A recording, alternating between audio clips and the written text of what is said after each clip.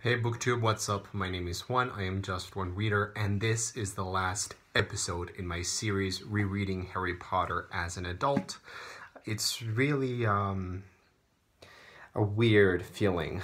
it's a really weird experience to be here and to be able to say that I have reread the Harry Potter series, which is my favorite series, at least my favorite series from my childhood, and um, I will post a separate video later on, maybe in, in a week or so, talking about the entire series as a whole and how my overall impressions have changed um, as an adult compared to how I felt about these books when I was a child growing up. Uh, because these are books that I reread many, many times over as I was a teenager, you know, from the age of six or seven until now. So it, it there, there certainly have been some changes and some development in my views on Harry Potter.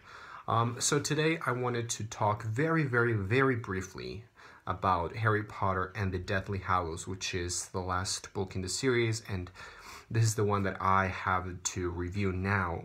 It's kind of difficult for me to review this book it's difficult to review any of these books actually because I remember with this one especially, I really remember reading it for the first time and how I felt when I was reading it for the first time.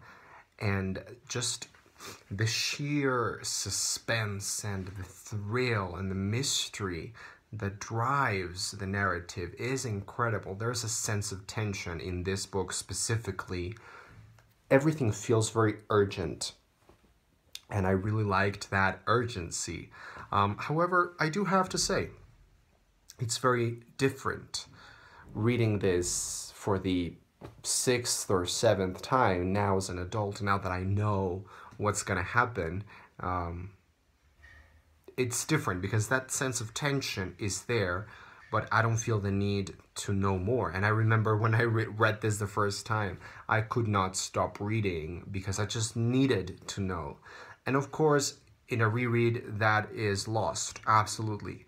It's not completely lost, but it's not as enjoyable as the first time, for sure. Um, needless to say, this was a great book.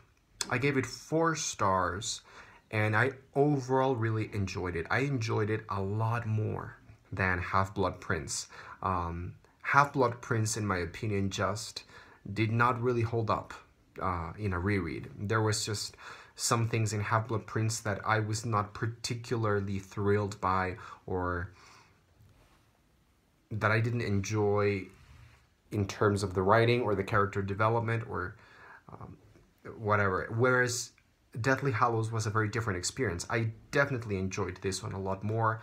I think that the pacing of this book is really good. I know that a lot of people think that this book is quite slow-paced or that it drags or that it has some parts that are just very frustrating because it feels like the characters are not doing anything, which is what you should feel because that's what the characters are feeling. But I completely disagree. I thought the pacing of this book was one of the best things that this book had. I, I really liked the, the, the combination between these really intimate moments with Harry, with Harry and Ron and Hermione, um, and the, the you know that and the juxtaposition with the really big wizarding war that is happening as, as a backdrop and something that I was thinking was it's really frustrating to have this entire series build up this war and we are expecting to see the war and to see everything that's going on. And it's kind of frustrating that in the last book, we don't really see a lot of the war we just see the parts where Harry, Ron, and Hermione are involved, but we don't see the rest. We don't see the spectacle of war. We don't see the big battles. Even the Battle of Hogwarts, we don't really see it. We see bits and, and, and, and fragments here and there. We see sort of figments of it, but we don't really see the big wizarding war picture. We don't see that. And I think it's really frustrating because there's a lot of build-up in the series for that. However, I think it makes sense because this is really Harry's story and this story, this particular story, Deathly Hallows, feels like very personal, very intimate. Uh, so I was frustrated by not seeing the big spectacle of everything, but at the same time, I thought it was a really nice touch to just be able to catch a glimpse of that thing and experience everything from Harry's point of view. Now, I will say there are some mixed feelings that I have about this book. There were some bits that I really loved, and there were some bits that I was kind of really disappointed by. Um, I think there are some deaths in the book that are really beautifully written, like Dobby's death, I think is really good. Um, Snape's death, I think, was really good. Most of them were really good. Even Tonks and Lupin, I think, were killed in a, in a pretty beautiful way because they were not, we didn't see them die. We just saw the, the, the bodies lying there in a split second. It was like almost too quick, but I like that. However, there was one piece of writing in particular that really bugged me, and I'm going to share it with you. And this is one of the most tragic deaths, which is Fred Weasley's death. Um, I just, I don't like how this sounds in my head. And when I was reading it, I thought I was reading something very, uh, ve like very cliched writing. There's just a lot of the same conjunction and. So this is it. No, no, no, someone was shouting. No, Fred, no. And Percy was shaking his brother, and Ron was kneeling beside them, and Fred's eyes stared without seeing, the ghost of his last laugh still etched upon his face. I just, I, I just found some fragments of the writing in this novel to be a little bit choppy and a little bit cliche, and some of them I didn't love them. However, I do think that there is a particular chapter in this book that was, in my opinion, just amazing and by far the best chapter of this book, which was um, The Forest Again. It's chapter... Uh, chapter 34, The Forest Again. This is, in my opinion, hands down the best chapter, the best written, the most intimate, the most personal feeling type of chapter in the entire book. Um, this is the part where Harry is walking towards death.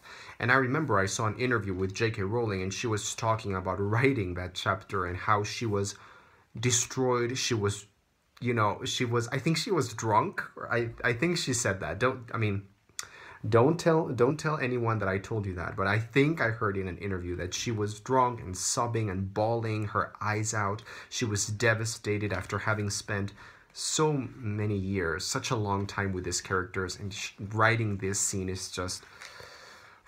And I could feel it. I mean, that's why I thought this chapter was the single best chapter in this book. It was so personal, and you could really feel that the author was putting a lot of care, love, and suffering into every sentence. So I really love that, and that was the most touching part. That was the most evocative and heartfelt part of the book, of the entire book, um, and maybe of the series. This part where Harry meets the ghosts, presences of um, James, Lily, Sirius, and Lupin. That part is probably the closest I was to crying, and I think it's the best part of the book. Um, at least in, in this reread, that was my favorite part. That was the most personal and the most heart-wrenching and the most devastating. Um, now, before I wrap this up, the ending. I don't like the ending to this book. I mean, I like how everything wraps up. I agree that that's the way that it should be done. Some people say that Harry should have died. I think I think maybe I would be okay if Harry had died. I am also okay with him having survived. I am I, I think both ways could have worked depending on how it was handled. I understand J.K. Rowling's reasons for keeping him alive. She says that for her, the most courageous and hardest thing to do in war is not fighting necessarily, but fighting and then coming back and rebuilding a family and rebuilding a life. And that's what she wanted for Harry. She wanted to be able to do that. And that's why at the end she didn't kill him off.